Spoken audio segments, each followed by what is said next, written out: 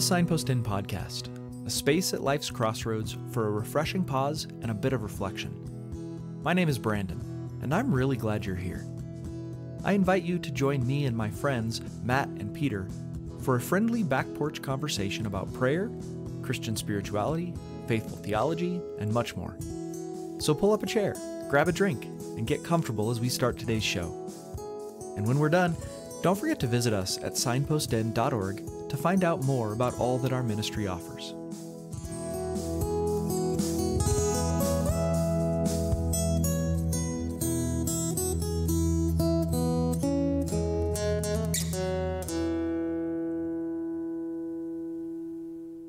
Hello, everyone. So glad to have you with us on the back porch today. Today, I'm excited to be joined by two friends. First, our very own Rachel Gamble, who works with me here at Signpost Inn Ministries, and our special guest, Emily P. Freeman, who's here to talk to us about her Wall Street Journal best-selling book, The Next Right Thing, a simple, soulful practice for making life decisions. Welcome, Rachel and Emily. Thank you for being here. Thanks for having me. It's great to be here. Yeah. Emily, I'm excited to talk to you about the book. I, I'm excited that you are willing to take the time to talk to us about it. Rachel and I have read the book kind of together and have talked about it here and there in the office. And so we were, it was fun when I was, when I made the connection that I had another connection through which I knew you. And I was like, ah, I wonder if I could get you to talk about your book. so I appreciate you being willing to do so. Before we launch into questions, though, and we have a lot, would you take a little bit of time to just tell us about yourself, maybe your background, who you are, where you're from, why did you write the book, The Next Right Thing? And along the way, maybe you can tell the listeners a little bit about what it's about. I would love to. Well, like I said, thank you for having me here. It's an honor to sit with you and to just have a conversation. As I sit now, I'm in North Carolina. So that's where I live. And my husband, John, and I have been married for almost 22 years, which is very hard to believe. It feels like I can't believe it's been that long, but here we are. We have twins who are just finished their first year of college, and then a son, our daughters, and then our son is getting ready to finish his sophomore year of high school. And, you know, as far as my work goes, I like to say that I really love to hang out at the intersection of creativity, uh, faith, and also discernment or decision making. Those are the types of conversations that if you get me started, we might be here all night. So I just, and, and especially where those three things align and kind of when, you know, if there's a writer who is also, you know, writing about their faith who also is working to discern kind of their next right thing i'm mm. like listen mm. sit down let's have a conversation so that's kind of kind of what makes what makes me come maybe most fully alive so i i also spend a little bit of time teaching a couple times a year out at Friends University, where I mm-hmm. teach in their Master's in Spiritual Formation program. And I say teach, I'll put quotes around it. I'm a residency lecturer, which in the academic world, it matters what words you use for what you do. So I really kind of approach that work with a spiritual direction posture where I hold mm-hmm. space for the students and I do some lectures, some listening, some kind of faux group direction. And I, I love that work because I find that I do my probably my best work or feel like my best human self when I am with a smaller group of people over a longer period of time. So that's why that mm. student they come back, you know, the next semester and I really like that. And then finally I I do some work as a spiritual director, one-on-one mm. kind of working with people. I, I have a small handful of directees right now. So that's where kind of a lot of that that posture comes from. But as far as the book goes, you asked about The Next Right Thing. So, The Next Right Thing came out in 2019. So, we've been celebrating some anniversaries recently for that book. But it really came out of what was first a podcast called The Next Right Thing that we started okay. in 2017. And really, the whole concept of doing the next right thing, first of all, for just full disclosure, I did not come up with that phrase. Hopefully, that's obvious. There's been a lot of really smart and lovely people who said that before me, and hopefully will continue to say it after me. But the idea is basically, I have found indecision, the moment of indecision, when we have a decision to make, to be ripe with potential for formation. And mm. it, because it's at that moment where we stand at a threshold of should I do this or that? or having to choose between either two great things or two terrible things or one good and great thing, but you don't know which is which.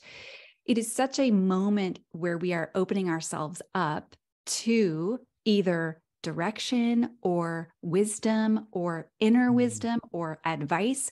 And all of that is like fertile soil for our own formation. Dallas Willard talks about we're always getting a spiritual formation, and everyone has one. But the question is, what kind? And so that's mm. really kind of where I come from in this conversation of just doing the next right thing, because I think that it is a formational conversation though i don't lead with that always but i think here i can but i yeah. think it's a it's a fascinating I, i'm still not sick of it i feel like i should be but i'm still not tired of talking about the rich flourishing that can come from we hate it but it's here in decision when we have a decision mm-hmm. to make yeah yeah uh, we were just talking about that right before you got on rachel and i were getting ready and i was like i wonder if she's sick of talking about this yet and and that's but I understand why you're not. Like I, I have that similar feeling, right? It's it, yeah, it, the those most difficult points of indecision, those most difficult points of sometimes paralysis, even, are also the most fertile, as yeah. you said, and to be able to, to be able to witness someone's growth in those times, that's it's, yeah, quite a privilege. So it's worth pointing out, I think, to the listeners, just that I met you in the Anam Cara Spiritual Direction Apprenticeship. And so that this all kind of flows together with what we do, making decisions, spiritual direction, making space for people. It, it, it's just so valuable and important to what we do. One of the things you said, I, I want to just ask you really quick about you. You were, can you say more about formation and what what do you mean by that? What do you mean when you say the point of decision is i think you even kind of said talking about opening yourself up to formation i'm not sure if i'm saying it the same way you said it but that's what i heard so could you say a little more about that yeah i think you know the phrase formation or spiritual formation it's been defined and could be defined in so many different ways but i think just in my own experience and it won't be a clean definition but i think this idea of we are always becoming someone Hmm. And I hope that I am becoming more fully myself, who I am made to be in God's mind, in God's idea of me and our idea together. And, but we're always becoming someone. And so I think that for me, formation is how, how am I becoming more of who God had in mind when, he, when God thought of me in the world? Mm. And how can I participate on purpose with the Holy Spirit, with, with God, with the divine, as I continue to move towards becoming myself, as I flourish, as I pay attention to what I love, as I pay attention and honor what I don't love, as I engage in what we maybe have heard, depending on your spiritual background as spiritual disciplines or soul care practices. I like to think of those as really just that the focus of attention is not the practice itself. The focus of attention is always union with God and mm. connection mm. with God. And therefore, anything can be a spiritual practice if I do it with an awareness of and an acknowledgement of the presence of God with me. And so, all of that engaging in those practices of being a person on purpose is what forms us. And so when I think about formation, that's that's what comes to mind for me. Rachel, you were going to say something. It was a reminding me of the practice of the presence of God by Brother Lawrence. Very good book. And I very admire what you're saying there.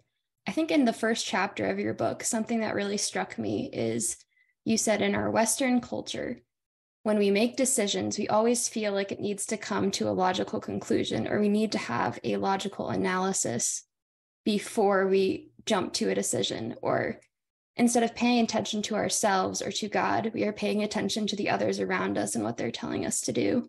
I guess I'd love to hear you expand upon that kind of your own experience of making decisions and how you've learned to pay attention to yourself and practice the presence of God in that moment, in those nothing spaces, I think, as you called them. And what a great question. Thank you for asking it. And I'm glad you pulled out the the location of in our western culture because this is not necessarily true all around the world. But for the purpose of our conversation, I do think most of us who have this kind of western mindset and we this has been we've been trained this way is we think that if we can define it, explain it, footnote it, predict it, then we can understand it, whatever it is, right? And if we can understand it, then we have some measure of control over it. And sometimes I think that, and, and, let me just say, this is a version of control that I have deep compassion for. I do because, you know, I think that maybe there was a time, maybe when I was a bit younger, when I maybe had judgment for this, like about either towards myself or to other people, or anger about it, like, oh, control, it's a bad thing. And the good bad binary is one that is increasingly becoming less and less one that makes sense to me. And I think that we're living, I'm living in a lot more grays lately. But we want to know the why of a thing. And that is kind of a way of collecting data so that we can make the best decision possible. And and like I said, there's there's so much compassion there. And I have like buckets of kindness towards ourselves for wanting that. But I think there's something to be said for even though it's like we know in our minds that we can't control outcomes, but that doesn't keep us from taking the credit or taking the blame when things happen. And so I think that your question, you know, thinking about decision making my own life, like I'm saying all these words, but also one of the reasons why this is a topic that continues to be interesting to me is because I struggle so deeply with it on a daily basis. It is not something that I feel naturally good at. I do think that we all kind of have a, a, giftedness toward a certain way. I think I do have, to a degree, a, a gift of discernment, but it doesn't always apply to me. and so I think that that concept of and and you kind of asked about it a little bit already is this idea of control and i think it's important to think about the difference between control and agency that mm maybe control is agency, but with a closed fist. Mm.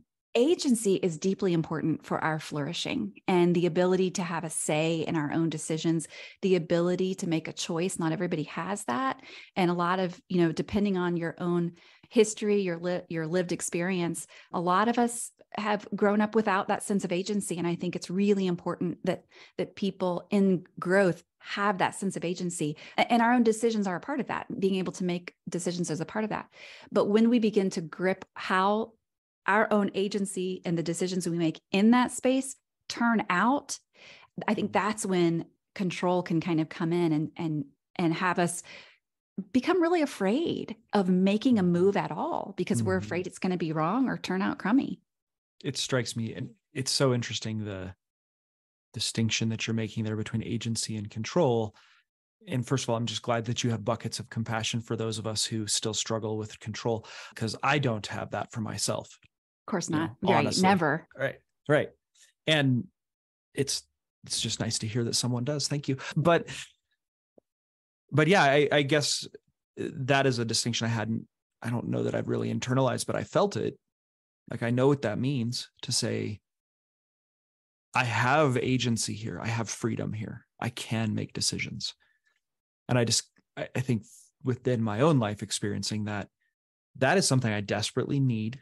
Because if you take that away or worse, you know, control me and stop me from having that, then that stunts me and all of us. But there's that, it's it's so closely connected, it sounds like, is kind of what I'm hearing you say. It's closely connected to there. Well, here's the thought I had it's actually you don't have you almost take your own agency away when you grip the outcome so strongly because then any decision is is dangerous and scary yeah. and impossible to make so yeah that's thank you it's like we can terrify it's we terrify ourselves and yeah. we can talk ourselves out of our own ability to listen to our own life or listen to the life of god within us and you're exactly right. It is like we're take we have the agency to take away our own agency. That's a really interesting way to think about it. Yeah. Well, and I, I find with myself, but with people that I speak to as well, that there's a, you know, I don't want to use too strong of language or anything, but it's almost a kind of self abuse, coercion, Mm.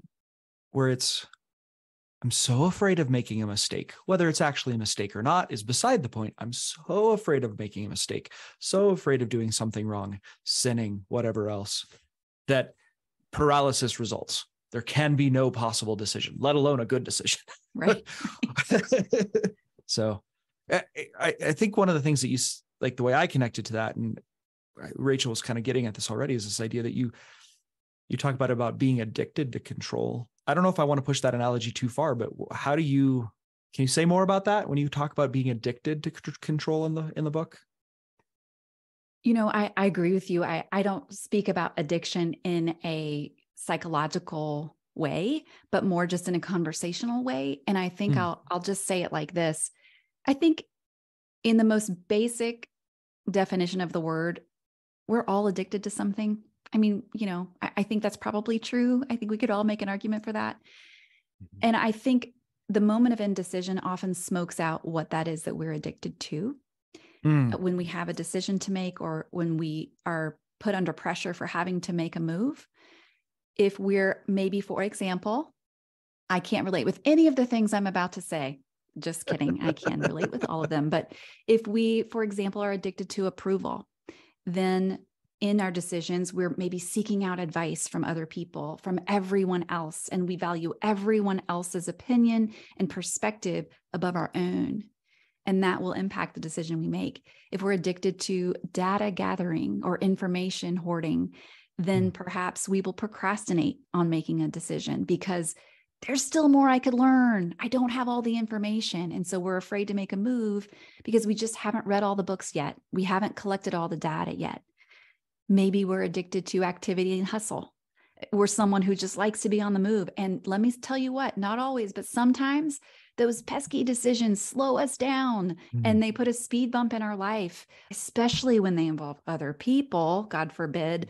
And Mhm. so what we might tend to do is we we're addicted to that pace of life, then we Mm. might just either make decisions quickly to have them out of the way, perhaps dealing with some regret later, or we might delegate a decision that actually was ours to make but we just didn't want to deal because it was going to slow us down. So I think those are maybe Mhm. some examples of how our own personal, you know, addictions, you, you know, addictions light, I'll say, can inform for better or worse how we make our moves.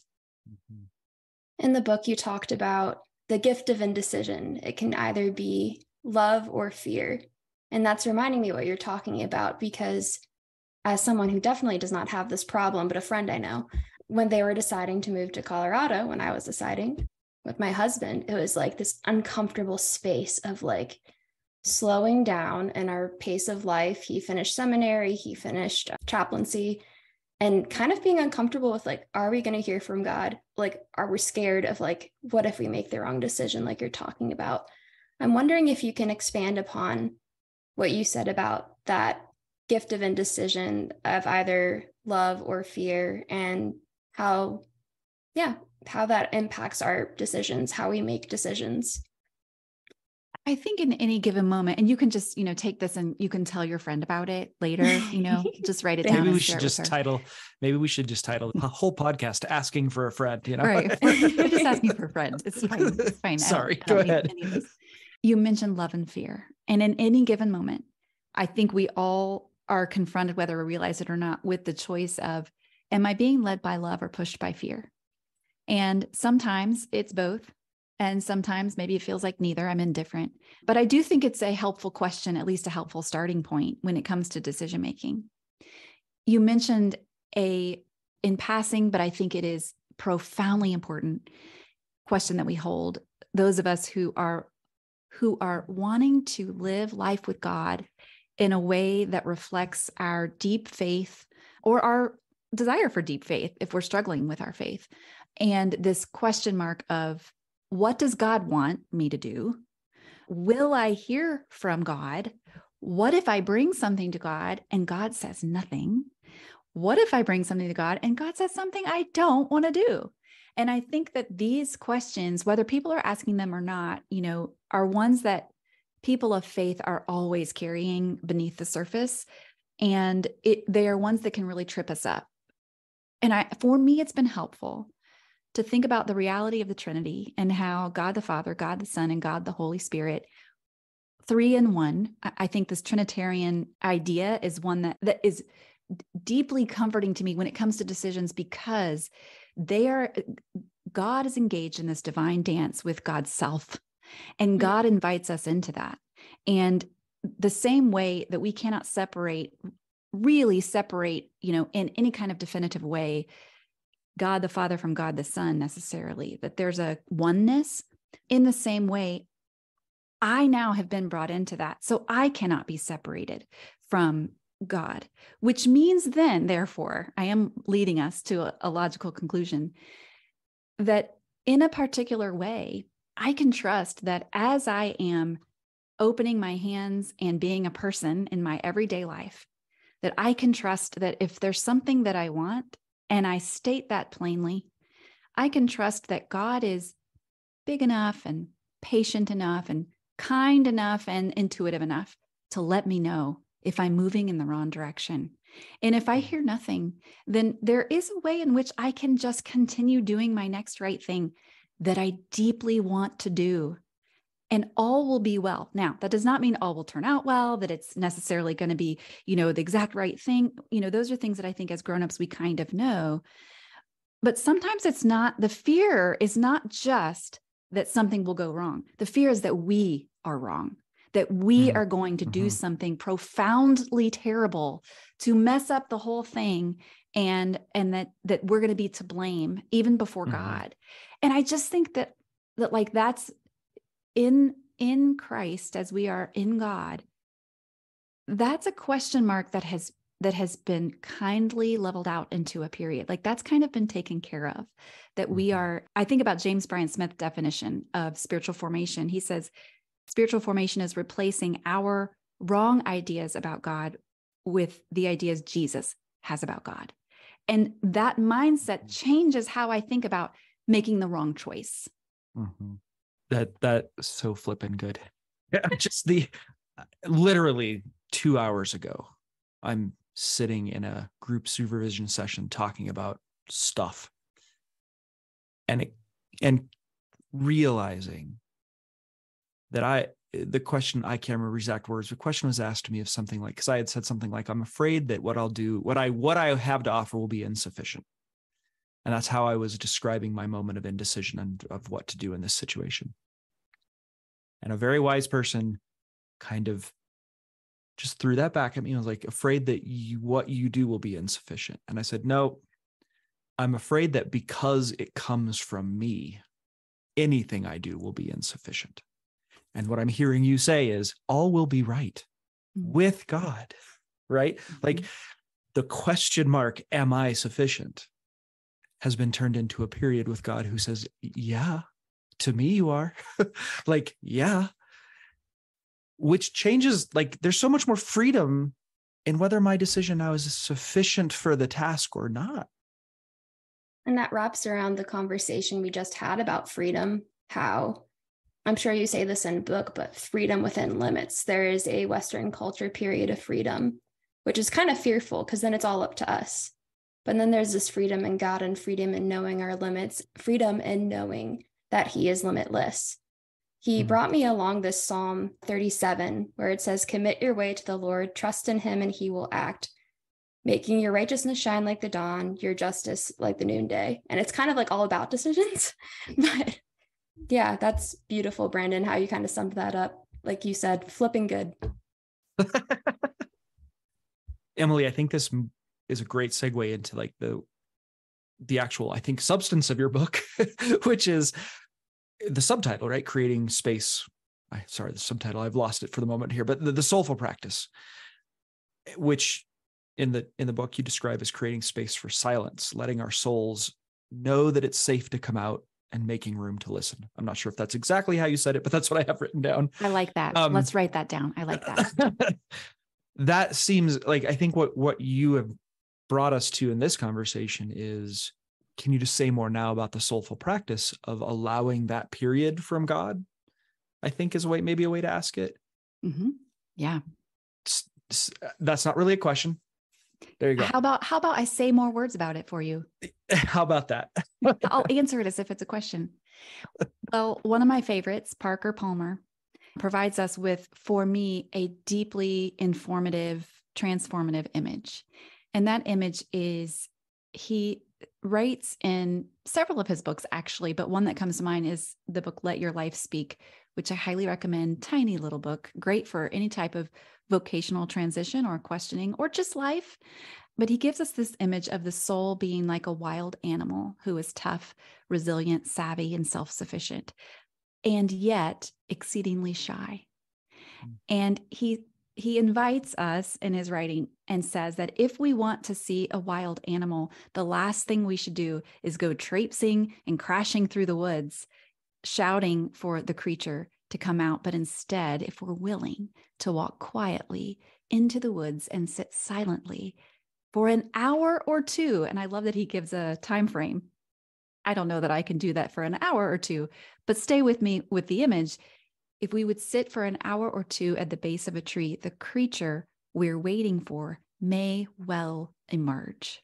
Mm-hmm. And so, this image of going into the woods and quietly entering into a space of patience of patient silence which let me tell you is just doesn't really come natural to us definitely not to me but i think that that image is helpful because it reminds me that my soul is like a, can be like a wild animal and is in the sense that it is shy to come out unless it knows for sure it's safe mm-hmm.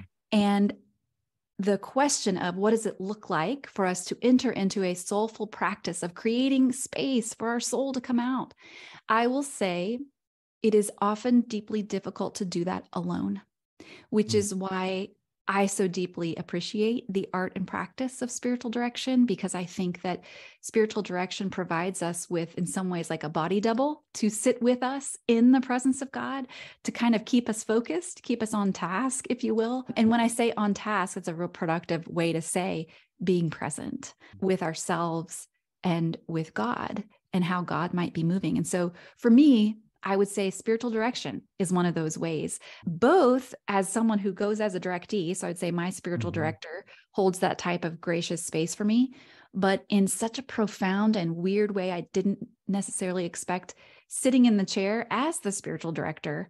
Almost even more in some ways has been for me a practice of sitting still as I as I create safe space for someone else's soul to emerge. Mm-hmm. I find that mine often does as well. And there's something really humbling about that, you know, as you bear mm-hmm. witness to someone else's story. So I think that's that's one thing. But I'll also tell you really practically this idea of of of being silent for the sake of being a person mm. for the sake of recognizing God's presence with me. I I do a very Western thing. And I literally will set a timer on my phone for a particular amount of time. Honestly, sometimes it's really short amount, five minutes. Mm. And my one job in those five minutes is to just sit still and be a person and just be present to whatever is. And oftentimes, what is is deeply distracting, is discouraging, is frustrating, which is why I'll get, I'll, I'll often move off to something else. But the, t- what the timer does is it gives me, Rachel, like what you were talking about, it gives me limits. And mm. within those limits, I have freedom because I know, like, you know what? It's a short amount of time, but for these five minutes, my only job is to not have a job. My only job is presence. And maybe there's prayer, maybe there's not. I would say that anything we do in the presence of God is a spiritual practice and it could be prayer. Sarah mm-hmm. talks about every rhythm of our life is a path to prayer. I tend to think that's true if we do it with an awareness of God with us. So even sitting and with my phone timer in the year of our Lord 2023, looking out the window for five minutes, wow, that can be a, a deep gift to my inner life just to have some calm. Now, if I set my alarm for two hours, would that would would my soul emerge even more? Maybe, maybe not. Yeah. Maybe I would just yeah. struggle that whole time. I don't know. But I think being aware of what is true and real, that's a helpful practice for me. You know, I heard naps are spiritual practices. they are. They are spiritual yeah. practices. In Jim Smith's book, Good and Beautiful Life, the very first soul care practice is taking a nap. So there you go. It's real. It's written down. There you go. It strikes me that the commonality there is the, or one of the commonalities is the whether you're doing it with somebody or doing it alone with God. I mean, always with God, of course, but different ways of of experiencing and through repeated experience coming to know that it's safe. I think for me, that's one of the things that like the as you talk about the sitting alone in silence, setting a timer, you know, prior life, I never would have done that. That would have been too scary.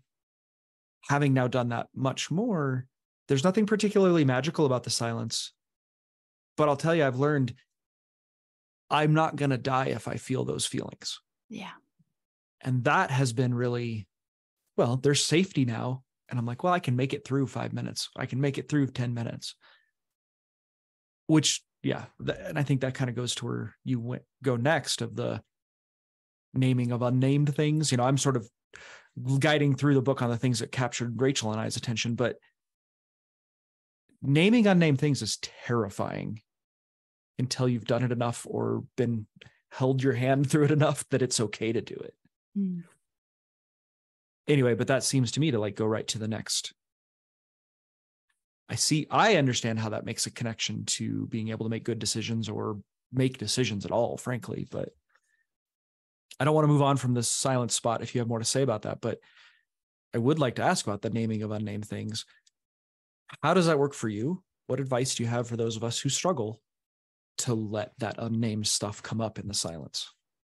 Well, I think you're doing you're doing a good job of leading us through kind of connecting the dots because really when it comes to decision making, Iris Murdoch says at the moment of decision, the work of decision making has already been done. Like Mm. on the spot, like you you a lot of times we don't have a long runway to make a decision. It's like, "Hey, are you formed to the degree that you can make a wise decision? Too late, go."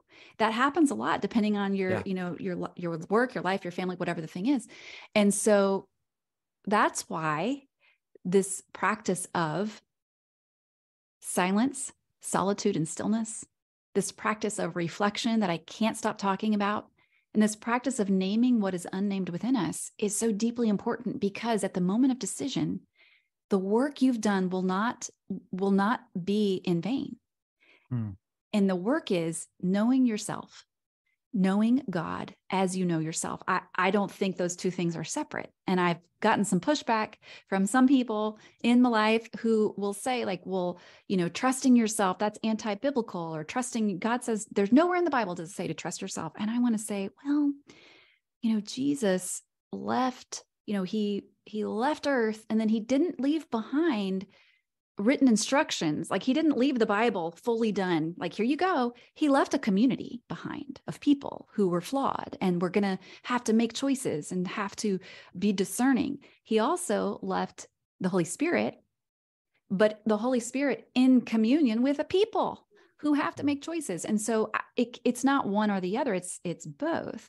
And so yes, trust ourselves learn to listen to ourselves but not to the exclusion of everyone else including god. And so i think that's that's something that just is a bit of a side note to bring out. But this concept of naming the unnamed things a couple things come to mind. One is ronald rolheiser in his book the holy longing says we get into trouble whenever we don't name things properly. Hmm. and i find that to be deeply true in my own life because the reality is what is true is true. What you want is what you want. What has hurt you, disappointed you, brought joy, delight, sorrow, all those things are true, whether you acknowledge them or not. Mhm. But the reality is they are going to come out one way or the other. And so we, in our experience of our own lives, there's going to be fear, there's going to be shame, and there's going to be anger.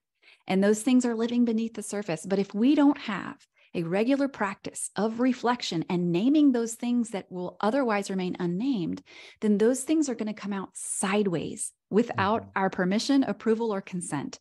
And when those things come out sideways, things happen that we don't like. Mhm. We get in weird fights with our family members. We do things we don't want to do. Mhm. We say words we wish we could take back. We're short. We're sad. We, you know, and I'm not saying we can avoid all of those things. But what I am saying is, I think we can avoid a lot more than we do if we engage in this practice of reflection and naming some of those unnamed things. Yeah. You talk about how I think this aims perfectly with what you just said of paying attention to what you're paying attention to. And I absolutely loved that because Peter and I, ha- my husband, have been learning about this of how be curious about your emotions. Don't, like you say, preach at your soul. I absolutely loved that. Just have compassion for your soul. Do not preach at your soul. But yeah, I would love to hear, I guess, your just thoughts on like being curious about what like your reactions are, what your triggers are, and kind of maybe even suggest to the listeners like what to do with that curiosity. I mean, yes, we can bring it to prayer, but like, how do we do we write it down do we talk like the community aspect of i think you even mentioned like a no mentor and maybe there's other mentors in there i jumble questions a lot but i would love to hear your response to whatever statement i just made. What i hear you asking is paying attention to what we're paying attention to. You agree it's important but then what? What yeah. use does it make? How mm. how does that actually look? And what is the practice in order to do that? Almost like why? Maybe yes. you're like why pay attention to what we're paying attention to? And and i and i guess in that i would say there is something to i'll just kind of state the obvious anything i say next is going to sound really small and almost like inconsequential which is i do write these things down I, I write them down to such an extent that i created a whole journal it's called the next right thing guided journal and in there are just list after list, guided list after list for you to write down what am I grateful for? What brings life? What drains life? What are what's one next right thing? And those are ways of paying attention to what you're paying attention to. And doing it on one day might not make much of a difference.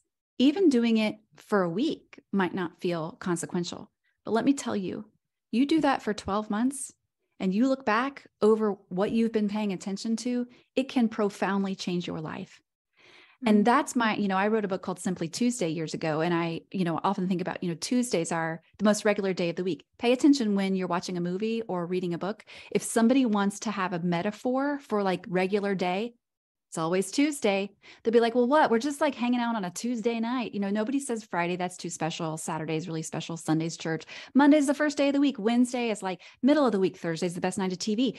It is Tuesday that is like the most regular day. And I am a firm believer that what we do on our everyday, eventually that is the most formative. It doesn't get the spotlight and it doesn't maybe, there's nothing to celebrate necessarily but I think that paying attention and writing those small little things down over time can really build up. That's our way of kind of that's that's part of our formation. That's our way of preparing for a decision that we might not even know is coming yet. And so to answer your question, yeah, I write that stuff down. like that's awesome. legit write it down with my hand mm-hmm. using bullet points. No, I absolutely love that. Brandon and I just got through Ronald Rolheiser's domestic monastery. And I feel like that's the exact message too. Yes, I'm yeah. so excited about it. But just that idea of like the everyday practices, the everyday small things, inconsequential one day, yes, but also in the long run of eternity. So formative, like you say. We're always going towards or going away from something. Mm-hmm. Well, and it brings it, it brings what is hidden, the unnamed things to a level of articulation that is unifying right? I mean like you can there's a there's a time when analysis is not helpful or i can be overly analytic about everything but but there's also a way in which taking what i feel and bringing it up and articulating it through writing or talking has a way for me of of unifying myself like yeah. my emotions and my thoughts and my they work both directions, but they they do become one, and that allows for much more healthy, first of all, expression, but then also I think basis from when I have to make the decision. I kind of already know in some articulatable way where I stand on this or how I feel about this or whatever else. It also, I, I want to circle real quick back to the comment you were making that you said was an offhand comment, which I don't think is at all of we can't trust ourselves, kind of that that mindset.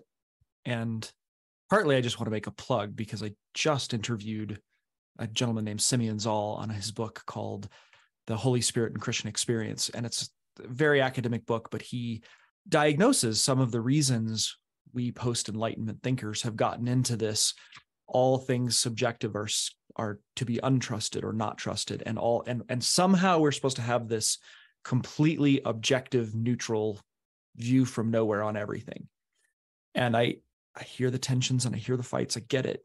But we almost in our effort to be right in our decisions in our thoughts and everything else which i have a great affinity for don't get me wrong we edit ourselves out of the data right? It's like the data is all out there. Those are all that's all the facts i should make my decisions from.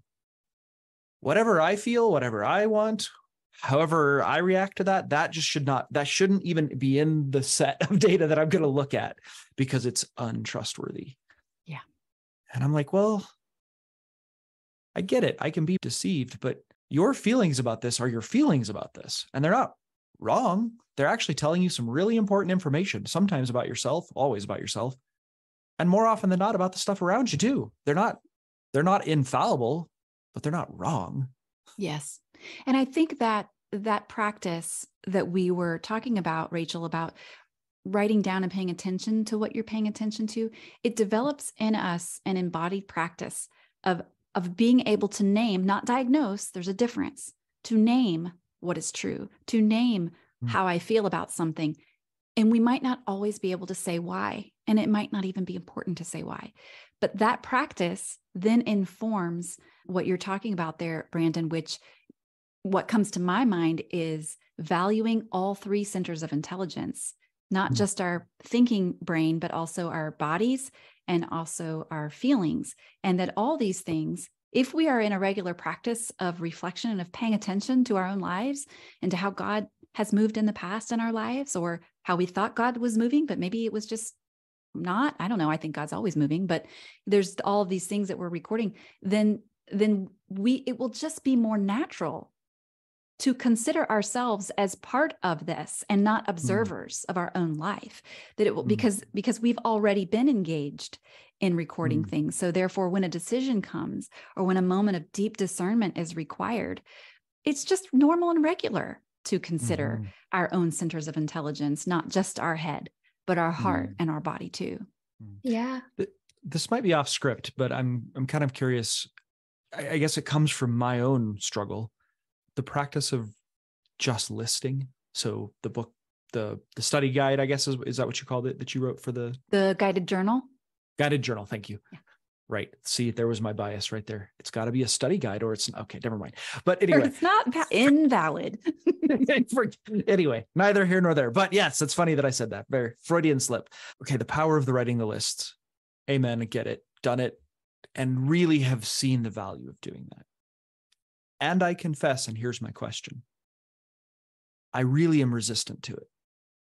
Like it's taken a great amount of effort in some sense to do that practice. I think I want I want to be able to name the unnamed things. I want to be able to f- articulate the feelings and know myself without having to write it all down. I look at lists in books and I'm like, eh. so my question is sort of one, am I crazy? Two, have you felt that? And three, help me out. How, if I think there are people listening who feel the same way. Yes. Well, let me ask you this when you talk about resistance, is the resistance to having a list or to making the list or to something else? I love it when podcasts turn into spiritual direction sessions. Thank you so much. I don't know. I think, I mean, some of it is certainly just sort of history with Bible studies that are all lists, which is probably why the study word came out.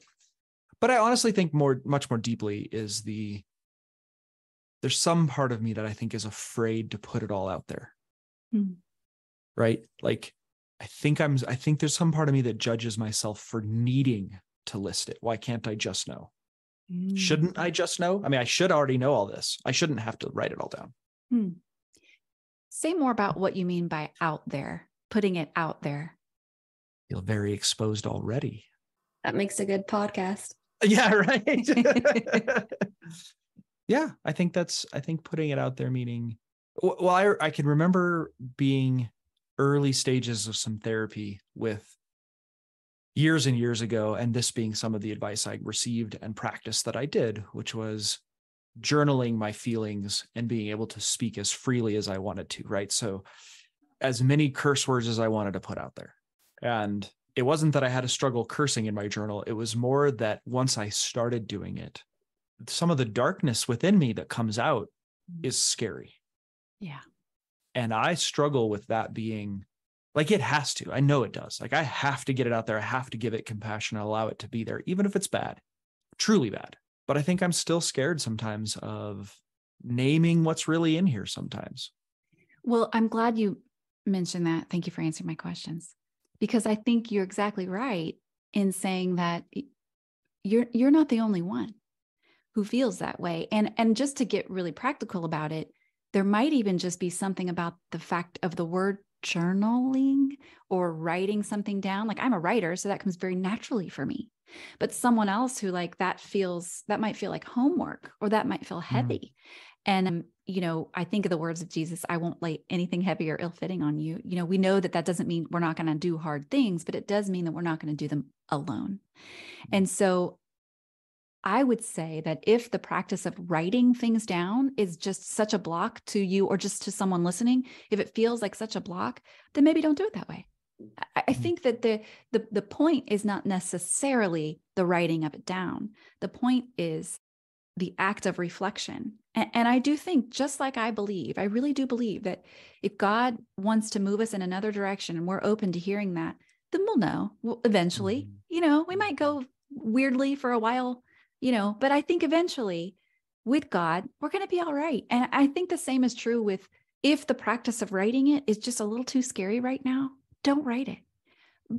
But I do believe that in the same way God is with us when we go down weird roads and make our decisions, I think God is also able to bring things back to mind that we need to know when the time of decision comes as we do the work of reflection, even if it's just in prayer, even if it's just embodied, like, well, I'm going to take a reflection walk now and I'm going to be with what's true and I'm going to name it out loud in the presence of God and trust that if this needs to come back to me, if this is something I need to review, that God is wise enough and patient enough and smart enough to bring it back to mind when I need it.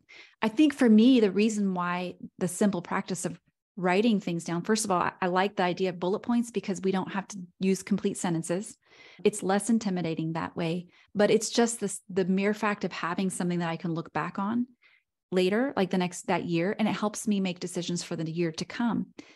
But you know, you can burn that after. Like no one says mm-hmm. you have to keep it. We don't have to keep this for the kids. you know, this is not, yeah. you know, that type of thing. So I I, think I'm I'm answering you kind of on an, a surfacey level, I, but I think your question is deeply profound and important, and it's one that is not easily explored in one answer to the question. But I do think it it definitely touches on something that I think a lot of people just initially will t- tune it out because it's like, oh, I'm not, a, I don't mm-hmm. like to mm-hmm. write. I'm not a journal. Mm-hmm. It's really not about the writing. It's really about the mm-hmm. naming. Yeah. Well, and that, I mean, it strikes me too that that's like, in some ways, this is a plug for a lot of different things, right? This is a, a plug is probably the wrong word, but like an encouragement. Write if you can write. If you can't write, go for a walk and yell or talk. If you can't do that, whatever. Yeah. It's the naming that matters. And this is a great example place for us to say, like, I found this space. I needed therapy first. I've used spiritual direction. Writing came later. Yeah. Whether that, you know, partly because I needed somebody else to actually be in the room and tell me it was okay to say these things. Mm. So, but yeah. So if that's somebody listening, let me just say that to you as well. That's good. Yeah. Find the space where you can start to do the reflecting because it's you will be you will be glad you did. Mm.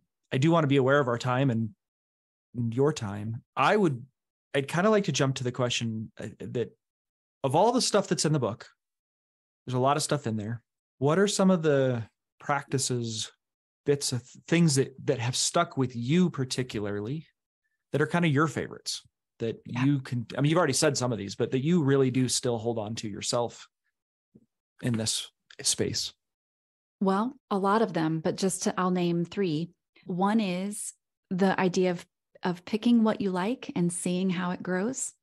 Mm. That so many times we're afraid of like choosing the wrong thing, but you know, being at the flower shop kind of taught me like I felt paralyzed in indecision about which flowers I should bring home and plant. And I had this thought like, just pick what you like and see how it grows. And that concept is applicable in a lot of areas of life. It's not just at the flower shop. So that's one that I continue to circle back to. A second one is that mo- that monthly on a monthly basis for probably 10 years I have written down what is life-giving and what is mm-hmm. life-draining. And the goal is not to only do life-giving things and avoid all the life-draining things, but in naming them, it helps me make decisions in the future because I remember like I've written down this is life-draining for 5 years why am I still continuing to arrange my life to where that keeps happening? And again, sometimes we can't avoid it, but in those things we can, it's a helpful list to mm. have. So I call that a life energy list. What's life draining? What's life giving? And then I, I would say a third one that comes to mind is the practice of choosing your absence and on the other side of that is planning your presence but i think choosing our absence is sort of like the opposite of fear of missing out. You know we've got fomo i'm afraid i'm going to miss out but what about those places where i decide to miss out? Because mm-hmm. i think you know i call myself a soul minimalist you know intentionally elevating the things that matter most and getting rid of the things that don't. And this idea of choosing your absence is is a real practice in doing that. And that literally can mean on your calendar, choosing things I'm just going to say no to, or can also mean choosing my absence from engaging in perseverating over a particular grievance that I have. I'm just going to choose my absence from that. And that too is a way to, you know, bring some space in our souls, mm. which to me in order to do our next right thing i think creating space for our souls to breathe is is just a huge part of that so those are a few that come to mind for me yeah thank you just as, just as we close is there I don't know, is there something that you wished we would have given you the opportunity to say, a question we should have asked? I don't know, something you'd like to bring to the table that we haven't thought of? Well, you brought up wonderful things to the table. I think the only thing I'd say in closing is this this idea of doing the next right thing. I think a lot of us can get tripped up on the word right. And mm. I would just encourage us if we could to elevate the word next. That really that is that is the real focus is just what's the next thing as I mm. live life with God in my community and with myself. What's the next thing? And then again tomorrow. Mm. Mm. Yeah, that's good. Thank you. Thank you, Emily. It's it's been a great joy. Thank you for the free spiritual direction session. I didn't expect anytime, it, but anytime. I so yeah, appreciate it. And Rachel, thank you. It great questions. It's been fun reading this book with you. Rachel is swiftly becoming kind of the the office reading buddy. She and I are passing books back and forth, so we're having a great time. Yeah, I think that's all. Listeners, I hope you enjoyed this and Emily's book easily accessible. Grab it anywhere. I think it's kind of all over the place right now. It's been out long enough that I found it really quickly. So we'll put a link to it in the show notes. And uh, yeah, definitely pick it up. And thank you May the grace of Christ go with you wherever the road takes you. Thanks for listening. This podcast is a production of Signpost Inn, a nonprofit Christian ministry dedicated to helping people connect with God and find direction. We offer spiritual direction, retreats, and lots of other resources like this podcast. Please visit us at signpostinn.org to learn more. We especially want to thank our generous donors who support our work and keep this podcast going. If you've benefited from something you've heard on this show, please consider supporting us by making a tax-deductible gift at signpostinn.org/donate. That's signpostinn.org/donate. And thank you.